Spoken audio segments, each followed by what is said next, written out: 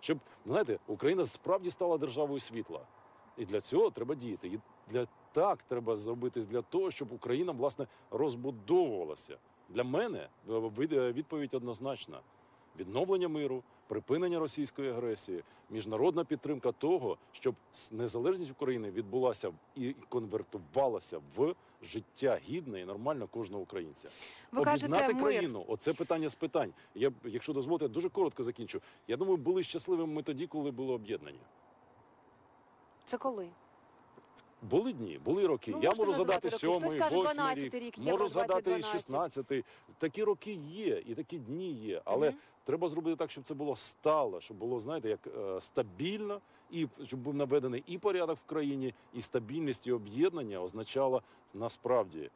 Відсутність агресії, насправді мир, насправді відновлення нормального життя для кожного і перспектива для молодих людей. Ось це і називається незалежність. Мир. Вчора президент вибачився за те, що не стримав обіцянки завершити АТО за лічені години, як обіцяв е, у ніч з 25 на 26 травня 2014 року. Ви вибачення приймаєте? Вибачатись не треба було, по-перше, брехати. Я навіть не знаю, навіщо були такі політичні обіцянки або заяви тоді зроблені, як і зараз я не сприймаю політичної брехні. От пряма і, і чесна політична відповідь від мене це відновлення миру. Національний план дій для посилення обороноздатності, для того, щоб землю захищала справді навчена, озброєна і захищена. Я наголошую на цьому українська армія, щоб українські збройні сили підтримувались народом. Я щойно був два дні тому в Донецькій області. Об'їхав, знаєте, вже знаєте, Покровськ, колишній Красноармійськ, Добропілля і так всю е, Донецьку область звільнені території. Я вам скажу, що найголовніше, що треба розуміти, що найкраще і найважливіше, що треба зробити, це відновити там мирне життя, збудувати дороги до лікарень, лікарні нарешті е, відремонтувати. От я відвідав, був 66-й шпиталь зі Львова переведений, я пам'ятаю, що в 2014 році. Зараз відвідав, зустрівся з кожною медсестрою, потиснув руки лікарям, відвідав хворих і поранених в палатах. Так от, Аню, я вам скажу, що до цього часу цей шпиталь живе і стоїть в польових умовах.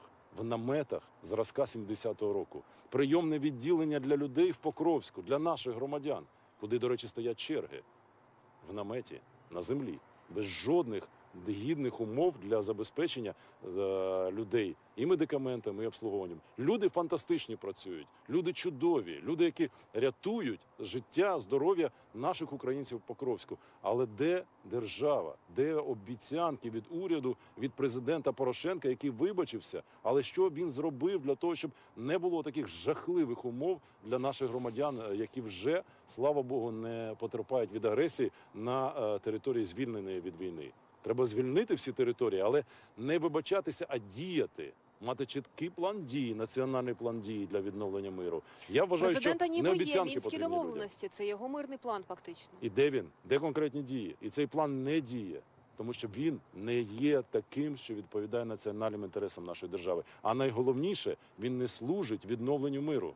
Там є все балачки, нікому невідомі ініціативи президента Путіна, але немає нашого національного плану дій. На моє переконання, відновити мир можна і треба, ставши зсередині сильнішим, здолавши корупцію у владі, а по суті знищивши її, і дбаючи день за днем про економіку, про українські заводи, про оборонні замовлення, на те, щоб виробляти що те, що потрібно для. Повторююсь, обороноздатності, модулі безпеки для на передову для наших воїнів, модулі санітарні і медичні для наших шпиталів і лікарень, поки що тимчасово, але сучасні європейські модулі санітарні поставити і в 66-й шпиталь в Покровську, і так в кожній лікарні, де ми можемо і маємо лікувати і рятувати життя наших людей. Про агресію Росії сьогодні, зокрема, згадував під час своєї промови на Майдані Незалежності президент. Е, А, парад багато йшло розмов. Дискутували ми, зокрема, і на нашому каналі про те, чи потрібен він чи ні. А те, що ми сьогодні побачили на параді до Дня Незалежності, може злякати ворога. Багато експертів військових кажуть, що мовляв, все, що ми сьогодні побачили, це або модернізована радянська або російська техніка. Якщо хтось планував Порошенко або Гройсман перелякати ворога, то це точно не треба було робити. А от що ну, відбулося, так це справжнє, знаєте, таке шана кожного українця до української армії, до кожного, хто був, брав участь в параді, але простих воїнів. І жінок, і чоловіків на рівних. І це дуже добре. Пошана і повага до того, що вони стоять на сторожі насправді незалежності держави. І з цієї точки зору, дійство, цей парад має право на існування і мав право на існування, і щоб відбулося так е- пафосно і е, так патріотично. А от друга сторона, яку я рішуче не сприймаю, це муштра, це знущання над українськими військовими, які чотири доби в страшенну спеку в Києві. Їх ганяли туди, сюди. Ця муштра, стойова підготовка і все інше. Оце я думаю, точно не сподобалось жодному українському військовому, і цього можна і треба було українській владі уникнути. А свято сили, свято нескореності, символізм безумовно потрібен. І е, цим і я пишаюся, як і кожен українець, що у нас є молоді люди, що вони взяли участь в параді, що ми їх побачили, а вони показали, що є сила, і що українці є нескорені, і ми свою незалежність відстоїмо.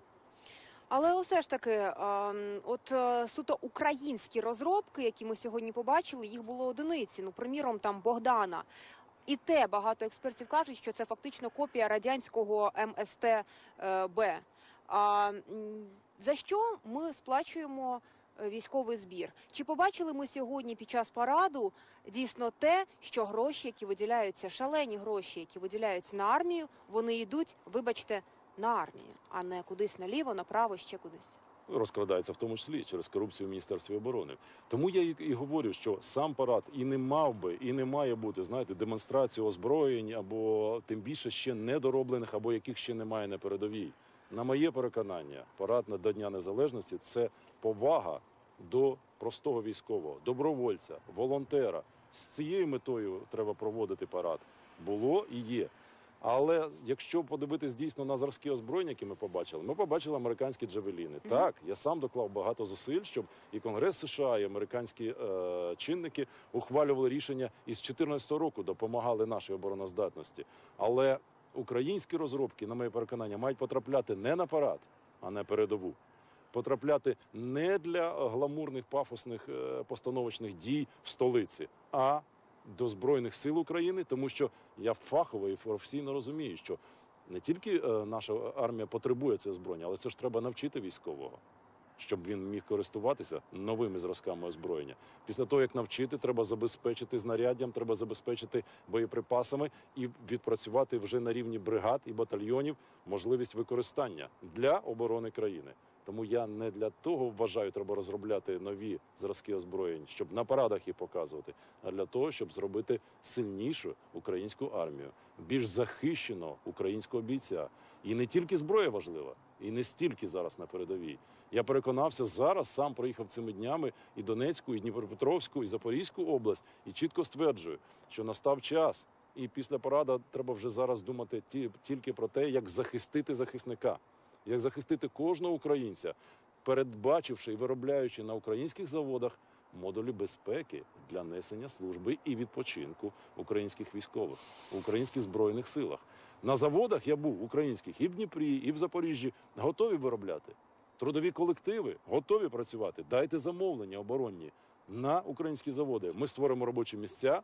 Робочі, е, робочі місця і робота з'явиться у людей і зарплата. А найголовніше продукція українська, така потрібна для безпеки і для забезпечення е, оборони нашої держави, з'явиться в українських збройних силах. Допоможіть розібратися. З однієї сторони, я часто чую, мовляв, е, українська армія була занедбана, лише е, за чинної влади її стали підтримувати. Президент каже, що у нас одна з найсильніших армій на континенті. А з іншого боку, ми повідомляємо в наших новинах, що наші військові гинуть, вибачте, не на фронті, а на навчаннях від міномету молот українського виробництва. Де маніпуляція, де правда насправді? Е, Що сьогодні е, з українською армією? Все ж таки, те, що сьогодні виділяється і фінансується, іде на підтримку наших військових і наших збройних сил, чи може не туди? Найголовніше для того, щоб відповісти на це питання, треба провести аудит всього того, А що відбувається в міністерстві оборони. Так, от має бути не закрита, а відкрита і для громадськості, і для журналістів. Люди, кожен українець має право знати, куди і на що пішов військовий збір. Я прибічник саме такого підходу. Я не сприймаю секретність. В принципі, я завжди розсекречував, в тому числі архіви КДБ. І вважаю, що і витрати на оборону, і на розробки нові, і на нову на нове знаряддя в Україні мають бути не секретною інформацією, а відкритою. У всякому разі, в показниках загальних, скільки і на що витрачено, скільки витрачено на годування бійців, скільки витрачено, а до речі, жодної копійки на модулі безпеки. Тому я за те, щоб конкретні витрати звітувала, звітував уряд, куди і е, про що і куди пішли громадянам України. Що стосується того, в якому стані знаходяться в реальному збройні сили України, от я ж кажу, я зараз, от цими днями проїхав і Донецька область, і Дніпропетровська, і скажу Що вам, що на жаль. Побутові умови, на жаль, умови несення служби, на жаль, військові тренувальні містечка, військові частини перебувають в тому самому стані, в якому ще я служив в строковій армії 30 років тому. Тому говорити про те, що е, вирішені питання кардинально справді європейського натівського зразка навчання і забезпечення е, українських військових контрактників ще зарано. І не треба е, робити міфи і розповідати українській владі тут в Києві, що все успішно вирішено. Ні. Але разом з тим, як фахівець, я скажу, що процес удосконалення, процес е, навчання, процес е, покращення е, стану в збройних силах будь-якої держави це процес постійний. Нема такого, знаєте, що все, наше військо на 100% готове і укомплектовано. Так жодна армія світу не може вам сказати і не скаже там, де правдива влада. І українській владі не треба брехати. Треба продовжувати удосконалювати, фінансувати і покращувати. Але я наголошую, що саме умови снесення служби, умови навчань українських військових для того, щоб хлопців не вбивали ні на тренуваннях, ні на навчаннях, ні на полігоні, ні на передовій. Життя воїна, життя солдата це відповідальність головнокомандувача і командувача кожної частини, кожного з'єднання. Солдат почесного караулу втратив свідомість сьогодні під час промови президента. До речі, на словах ми потрібні Європі. Насправді сьогодні двоє військових втратили Двоє, свідомість. А за час а, президентства Петра Порошенка було п'ять таких випадків, коли під час е, певних дійств е, і заходів військові втрачали свідомість. Е, Це символічно, це насправді можна пояснити спекою. Чому так відбувається? Багато змі сьогодні про це пишуть. Символи погані. І я б на місці е, Порошенка задумався вже давно про такі символи. А от чому Вірите це ви в відбувається? Це символи, мене Олександр більше турбує. Ви я не вірите в просто символи? вірю, я знаю, що це не просто так. От повірте мені. У вас в житті були І не символічні тільки в житті, речі? а і я розумію, що це означає в принципі. Коли знаєте, коли ти прагнеш світла, і коли ти на світлій дорозі з любов'ю йдеш до людей, це одна дорога. А дорога брехні і корупції, от і призводить. І це непрості сигнали. Але це Давайте знаєте, згадаємо просто під час інаугурації тоді те, втратив той, так, так, той, для кого ці сигнали вже не один раз всесвіт посилає. Але я думаю про і стверджую про інше. До бійця треба ставитись з повагою. Треба годувати хлопців. Не треба їх було мучити чотири доби під сонцем. Це ж наші діти, це ж наші сини. Будь-яка людина, от я тим, хто сумнівається, дуже раджу. Одягніть на себе камуфляж, берці, візьміть за вагою щось подібне до автомату. І одну годину простійте на сонці. А хлопців мучили чотири доби по 6-5 годин. Яка людина це витримає? Тому і не треба муштри, не треба показухи. Треба пишатися, треба проводити паради, але не через муштру, а через сучасне. Як це робиться, до речі, в європейських країнах? Там репетиція параду одна і та вночі, щоб не заважати е, містянам е, ні військовою технікою, ні тренуваннями. І там не знищаються над військовим, а дають дають йому виспатись, нагодують його. Він бере участь в параді, і після цього що? Не в казарму, а до родини, до коханої, до дітей його відпускають. Це нормальний європейський підхід. Тому там і не втрачають свідомість на парадах та, та ще й з такою регулярністю. На не вашу, треба знущатися над хлопцями, тоді все буде добре. на вашу особисту думку, це останній чи не останній парад Петра Порошенка? Це останній парад президента. Петра Порошенка. Чому так думаєте? Ну, я не думаю, я впевнений. Ну, Тому що я щойно, наприклад, що там він приміром п'ятий, четвертий. Різні насправді є е, сьогодні е, дані, але я багато спілкувалася з людьми, які представляють команду президента. Так, от багато хто все ж таки вірить, що вони планують вигравати і що можуть виграти? Я ще не бачив жодного чиновника за всі, на жаль, для нас 27 років відновлення незалежності, який би сказав, що завтра він звільнить крісло і е, не вірить в те, що е, йому не вдасться ще хоча б день вкрасти щось з бюджету. Не про них треба думати. Ми маємо думати, що вже 28 рік відновлення незалежності нашої країни, і треба дивитись вперед. І я переконаний, що треба змінювати владу. Що вона не неефективна, системно розвалена країна, і так по всій державі. А проплачені рейтинги, ну у них вони накрали мільярди в офшори. Вони будуть нам проплачувати, брехати про свої рейтинги п'яті, шості, дев'яті. Кому це цікаво? Людям це не цікаво. Людям нема на що жити. Ань, насправді ну так свято. Але кожен пенсіонер зараз в це свято думає, де пігулки завтра я зможу купити чи ні за такими цінами на ліки. Чи можуть сплатити люди тарифи? Знову Гройсман підніме їм зараз тарифи на газ. Ні, не можуть. І я вам це говорю. Я щойно зустрічався, наприклад, в Запоріжжі. Прийшли десятки, сотні людей зустрітися, і, і так вони чують, вони підтримують план відновлення миру мій, але говорять: Валентине, ну а як 1500 гривень у мене пенсія? Був конструктором на заводі, все життя відпрацював. Я кажу, як 1500 гривень? А я ліки, а ліки, а тарифи, а як ви виживаєте? А каже, ніяк не виживаю. Моя дочка в Італію поїхала, забрала, слава Богу, з собою онуку, вони хоч не голодують. Це людина літня в Запоріжжі, серйозний конструктор на серйозному заводі працювала. Про що говорить нам влада? Про яке п'яте, шосте чи якесь там місце? Людям жити нема на що. Тому не про це, і вони нам не цікаві більше. Нам треба дивитись в майбутнє і розуміти, що треба повернути країну на шлях розвитку, треба відновити мир, і тоді можна і треба далі говорити, що 28-й рік незалежності України, відновлення незалежності стане роком справді відновлення миру, що головне, і повернення країни і економіки на шлях розвитку. Хто стане наступним президентом? Той, кого підтримують люди. А прізвище? А прізвище ви визначать люди. Для мене є чітке рішення. Я йду в президенти, я йду Мгм. з планом відновлення миру. Я йду через зустрічі з людьми, через те, щоб люди зрозуміли, що я буду робити. Не обіцяти, а робити щоденно важкою працею. Я маю чіткий розроблений національний план дій відновлення миру, щоб не балачки були, а дії. А найголовніше, я маю чітке переконання, жорстко і рішуче змінити владу і зробити так, щоб влада захищала і служила людям. Вся починаючи з президента. Підтримують такий підхід люди, проголосують за такий план і за такого Наливайченка. Я вважаю, що головне не крісло. Головне це твоя е, справді щире і рішуче ставлення до того, що ти говориш, обіцяєш. А головне здатність виконувати те, що обіцяєш. От на моє переконання, здатність діяти це те ключов, той ключовий критерій, Аню, за яким будуть визначатись українці підтримати чи не підтримати кандидата в президенти. І на який результат ви розраховуєте для себе? Я розраховую тільки на один результат: на те, щоб виконати те, що обіцяю людям, щоб відновити мир і знищити корупцію. Оце єдиний найголовніший результат. І іншого розрахунку не треба. Я точно знаю, що не буде бізнесу у владі. Я не дозволю ні собі, ні іншим. Тому я не розраховую на гроші.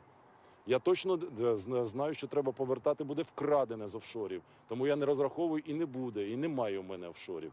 Тому і діяти зараз кожен, знаєте, це момент істини.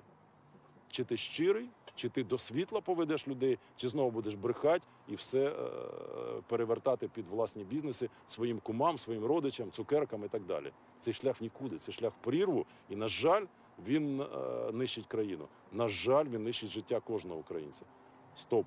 Ми маємо розвернутись і піти вгору, піти до світла, піти на розвиток. У 91-му році українська економіка була 60-ю в світі. Ми б тоді випереджали Білорусь, випереджали насправді Польщу. Сьогодні ми набагато позаду. Державний борг сягає більш ніж 76 мільярдів. Так. Це 1800 доларів на кожного На кожного, українця. ВВП на душу населення з 2000